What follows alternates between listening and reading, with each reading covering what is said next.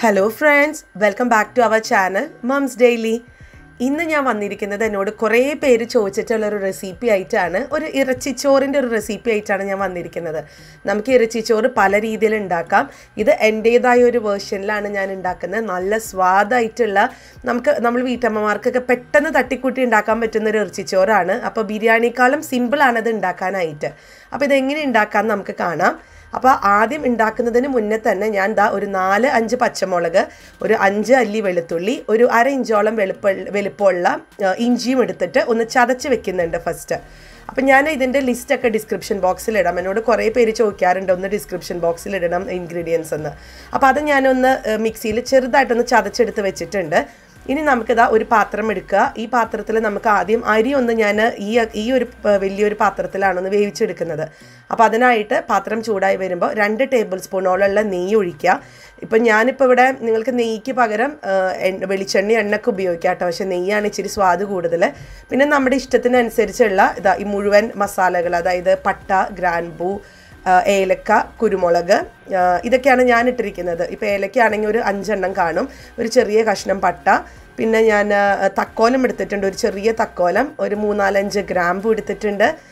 പിന്നെ ഒരു ഒരു കാ ടീസ്പൂണോളമുള്ള മുഴുവൻ കുരുമുളകും എടുത്തിട്ടുണ്ട്. അപ്പോൾ ഇത്രയും മസാലകളാണ് ഞാൻ എടുത്തിട്ടുള്ളത്.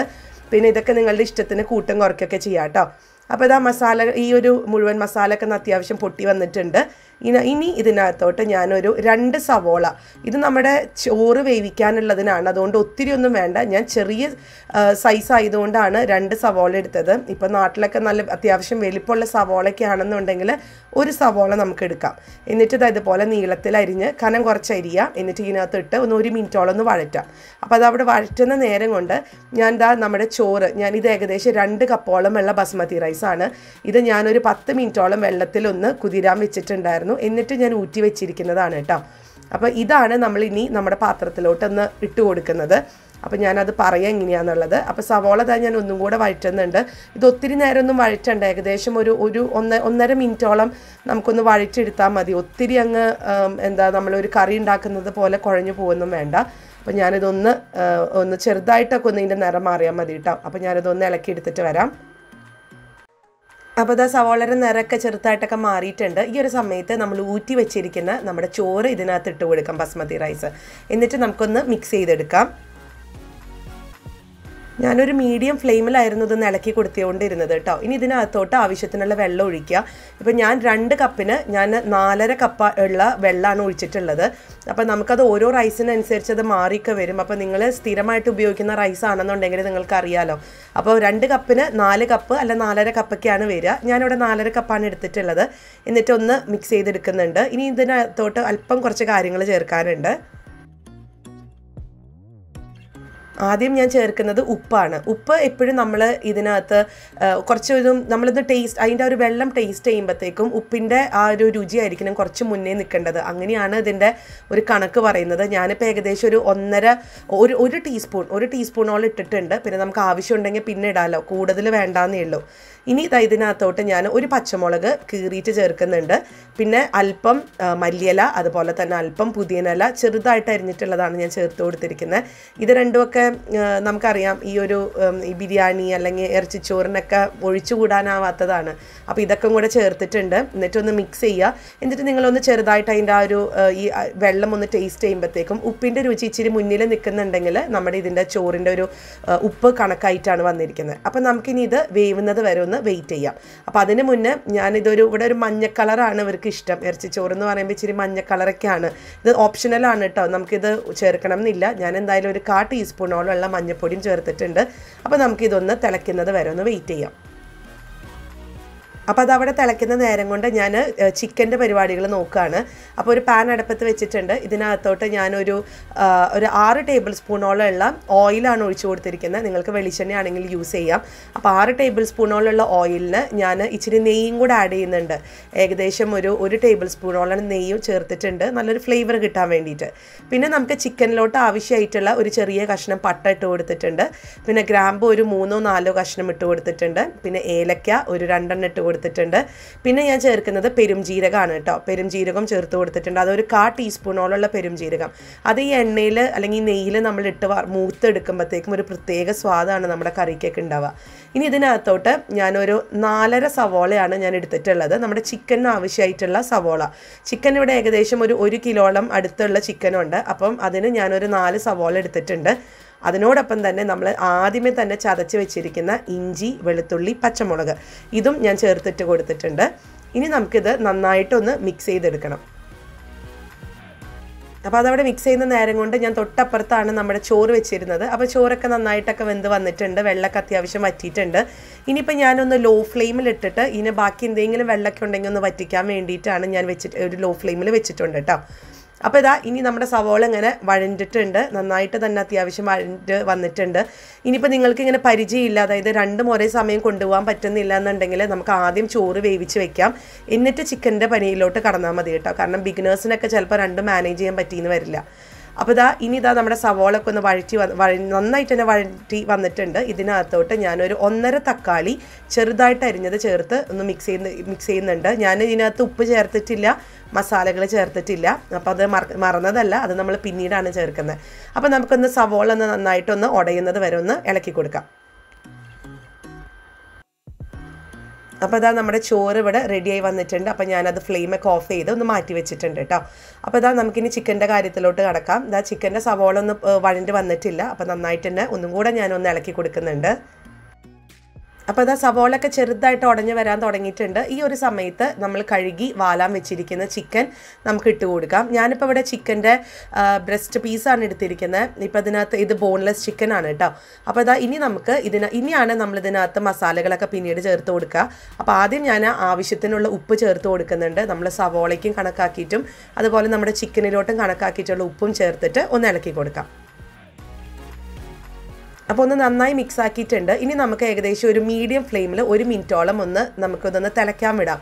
അപ്പോൾ നമുക്ക് ഇതിനകത്തുള്ള വെള്ളമൊക്കെ ഇറങ്ങി വരുന്നത് കാണാൻ പറ്റും. നമ്മൾ ഇതിനകത്ത് ഒരു തുള്ളി വെള്ളം ആഡ് ചെയ്യുന്നില്ല കേട്ടോ ഇപ്പോൾ അപ്പോൾ അതാ ഈ ചിക്കനിൽ നിന്നുള്ള അല്ലെങ്കിൽ സവോളയിൽ നിന്നുള്ള വെള്ളമൊക്കെ തന്നെ ഇറങ്ങി വരും. അപ്പോൾ അതുവരെ നമുക്ക് ഒരു ഒരു മിനിറ്റോളം നമുക്കിതുപോലെ ഒന്ന് വേവിച്ചെടുക്കാം. ഇനിയാണ് കണ്ടോ ഈ വെള്ളമൊക്കെ നന്നായിട്ടൊക്കെ തിളച്ച് കണ്ടോ ഇതിനകത്തുള്ള ആ ഒരു വെള്ളമൊക്കെ ഇറങ്ങി വരുന്നുണ്ട്. ഇനിയാണ് ഞാൻ ഇതിനകത്ത് മസാല ചേർക്കാൻ പോകുന്നത്. ആദ്യം ഒരു കാ ടീസ്പൂണോളമുള്ള മഞ്ഞൾപ്പൊടി ഒരു മുക്കാൽ ടേബിൾ സ്പൂണോളമുള്ള മല്ലിപ്പൊടി ചേർത്ത് കൊടുത്തിട്ടുണ്ട്. മുക്കാൽ ടേബിൾ ടേബിൾ സ്പൂണോളമുള്ള മുളക് പൊടി ചേർത്ത് കൊടുത്തിട്ടുണ്ട്. ഇനി അടുത്തത് ചേർക്കുന്നത് ഗരം മസാലയാണ്. ഗരം മസാല നമുക്ക് ഞാൻ വീട്ടിൽ തന്നെ പൊടിച്ചിട്ടുള്ള ഗരം മസാലയാണ്. അപ്പോൾ അത് ഞാൻ ഒരു ടേബിൾ സ്പൂണാണ് ഗരം മസാല ചേർത്ത് കൊടുക്കുന്നത്. അത് വീട്ടിൽ ഇതായതുകൊണ്ട് നമുക്ക് ഒത്തിരി ഒന്നും ചേർക്കേണ്ട. എല്ലാം നല്ല ഫ്രഷ് ആയിട്ടുള്ളതല്ലേ? അപ്പോൾ നല്ല ഫ്ലേവറൊക്കെയാണ് പിന്നെ ചേർത്ത് കൊടുത്തിട്ടുള്ളത് ഒരു അര ടീസ്പൂണോളം ഉള്ള കുരുമുളക് പൊടി. പിന്നെ ഇതൊക്കെ മസാലകളൊക്കെ നമ്മുടെ ഇഷ്ടത്തിനാണ് ചെയ്യുന്നത്. നമുക്ക് നമുക്കറിയാം അതിന്റെ ഒരു കണക്കൊക്കെ എങ്ങനെയാണെന്നുള്ളത്. ചില ആൾക്കാർ ചില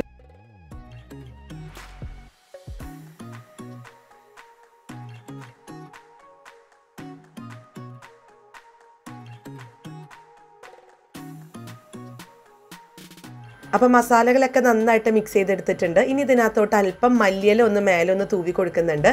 എന്നിട്ട് ഞാൻ ഇളക്കി കൊടുക്കുന്നില്ല. മല്ലിയിൽ അങ്ങനെ തന്നെ ഇട്ടിട്ട് ഞാനിതൊന്ന് മൂടി വെച്ച് ഇനി നമുക്ക് ചിക്കൻ വേവിച്ചെടുക്കുന്നത് വരെ നമുക്കൊന്ന് സമയം കൊടുക്കാം. വേവാൻ വേണ്ടിയിട്ട്.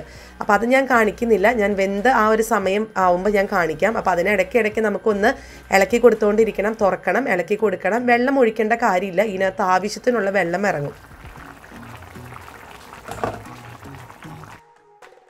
ഇതപ്പോൾ ഇവിടെ ഏകദേശം ഒരു പതിനഞ്ച് മിനിറ്റോളം കഴിഞ്ഞിട്ടുണ്ട്. ഞാൻ ഇതിനകത്തോട്ട് അല്പം നാരങ്ങനീര് ഫ്രഷ് ആണെന്നുണ്ടെങ്കിൽ മാത്രം നാരങ്ങനീര് ചേർത്ത് കൊടുക്കുക.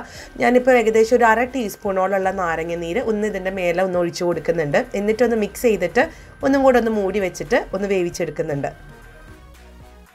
അപ്പോൾ അതവിടെ ഏകദേശം ഒരു ഇരുപത് ഇരുപത്തഞ്ച് മിനിറ്റ് ആയിട്ടുണ്ട്. നമ്മുടെ ചിക്കൻ കറി ഇവിടെ റെഡിയാണ് അപ്പോൾ നോക്കിക്ക് നല്ല തിക്ക് ഗ്രേവി ആയിട്ടാണ് വന്നിരിക്കുന്നത്. നമ്മൾ ഒട്ടും വെള്ളം ചേർത്തിട്ടില്ല കേട്ടോ. അപ്പോൾ അതവിടെ മാറ്റി വെച്ചിട്ടുണ്ട്.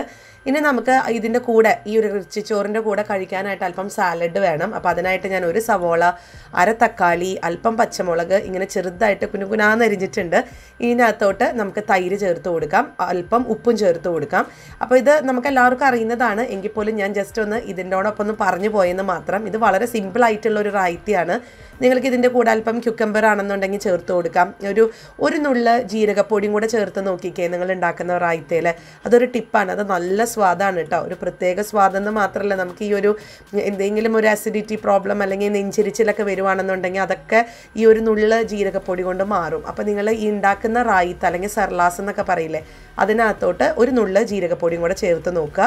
അപ്പോൾ അത് നമ്മുടെ ഈ ഒരു സാലഡും ഇവിടെ റെഡിയാണ്